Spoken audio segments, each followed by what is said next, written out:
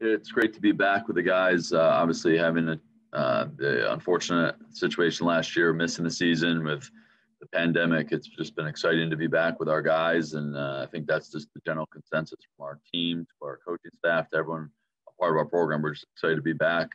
Um, there's uh, there's some things we know. There's a lot of things we don't know about ourselves yet that uh, we found through preseason, and I think that's the exciting part heading into week one. Now is just as we get more experience. I think uh, a relatively young team. Uh, I hope we'll find ways to continue and improve. That's always been a standard of our program, and I think this year's team definitely will embody that.